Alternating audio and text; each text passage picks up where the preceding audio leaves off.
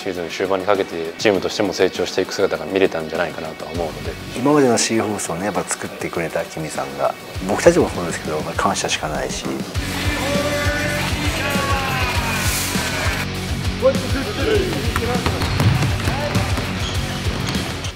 まあ、エースとしてチームを勝たせられなかったのは僕にも責任あると思いますし。苦しい状況でも下を向くことなくどうにかこうチームが良くなるためにやろうとした腐らずにねチームとしてできたので、まあ、よりねこうチームの未来っていうのもねこう明るくなってくるのかなと思うんで。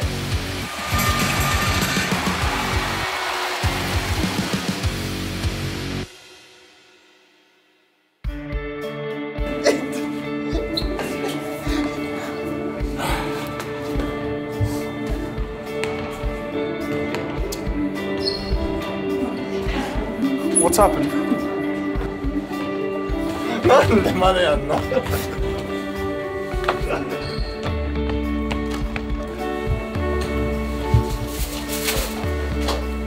は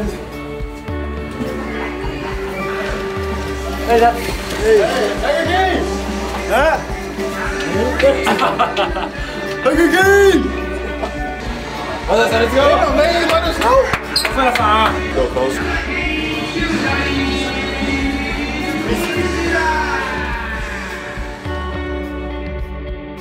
えーとまあ、シーズン序盤から、ま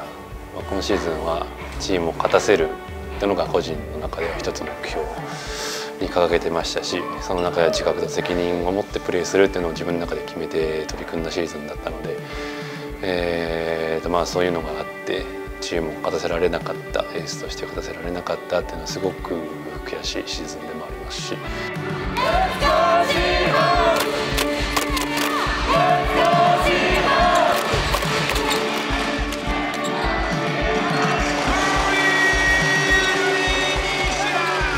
やっぱりちょっと前に出てきていますね。ここをドライにしていきました。長野です長野もスピードで切り裂いていきました。まあ、やっぱ一番はそのコミュニケーションをゲーム中だったりとかその練習中もそうなんですけどコート内でしっかりこう取れるようになってきた。コート内の5人でハドルを組んで話すとか、まあ、そういうことが、まあ、僕去年から入って、まあ、多分ちょっと少ないように感じたので、まあ、そこは積極的にやっていこうというふうには声をかけていましたしそれが本当にねもう少し早い段階からねできてれば、まあ、一番良かったんですけどただやっぱチームのスポーツですからやっぱこういろんなメンバーの変化とかもありながらやっぱ戦ってきた中でちょっと難しかった部分もあったんですけど。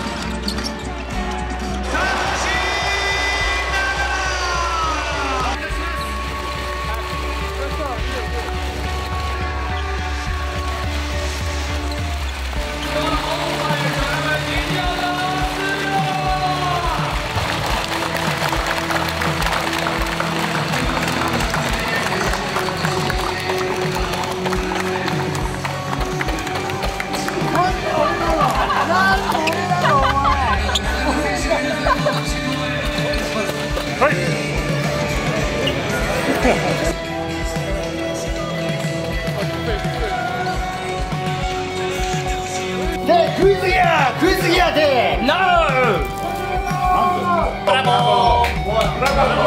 ん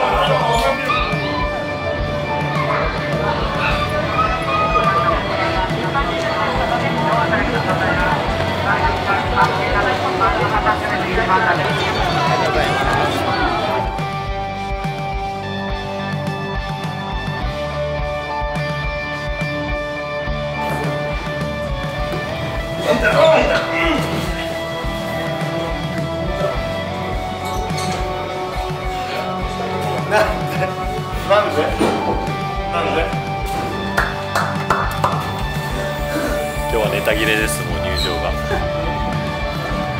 白目になっちゃった俺はなんだ俺これ誰か誰か兄貴兄貴兄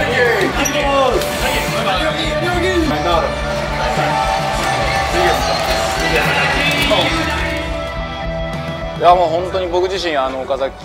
で開催されるというか試合でするのは、えー本当にちょっと NBL 時代にあったので、えー、とそれ以来っていうところで、あの本当に雰囲気はすごく最高でしたし本当に皆さんの声援があって、えー、今日接戦を勝ち切ることができたと思うんで。うん。細谷西田西田のレイアップ。いやゾーンが成功しましたね。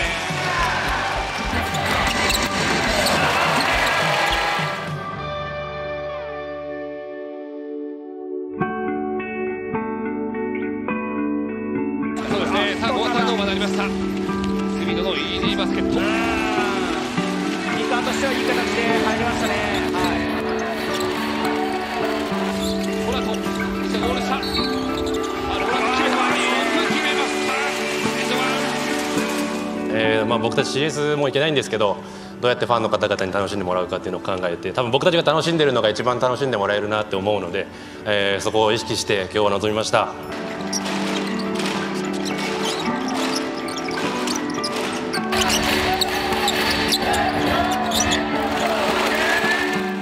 シーズン終盤になるにつれて、まあ、選手呼んでハドル組んだりだとかただ自分が気をなんだ背負ってプレー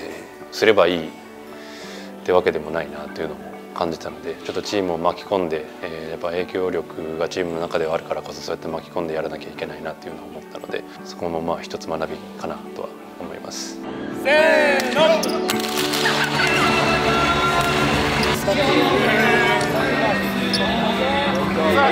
のはい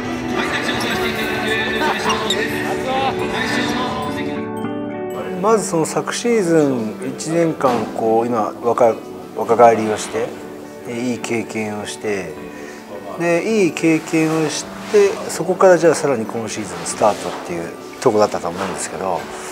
まあ、そこでやっぱりその昨シーズン良かった部分がやっぱり出だしからこうどうもこう噛み合わなかった一つずつ積み上げていくしかないっていう状況からのスタートでまあ、その中でこう、まあ、選手はね本当にこう一生懸命昨シーズン経験したものをね自分なりにいろんなことを考えていろんなことをこうトライしようとしてましたし、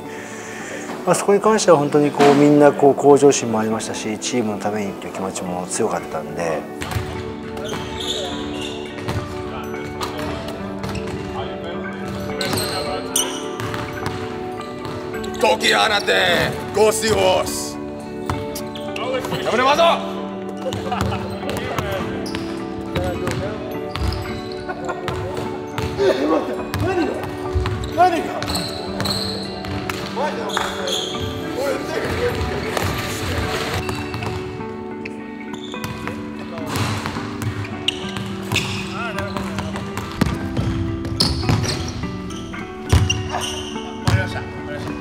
僕の完封勝ちなんで。あもう終わっちゃった。あもう終わったんですよ。僕の完封勝ちなんで。移してくださいあそういうことにそういうことにしといて OK です。先輩なんで。なんか今急に3本やろうとか言ってきてこの前負けたんであの人勝たせていただきました。なんか練習試合で勝って公式で乗り勝つみたいな感じです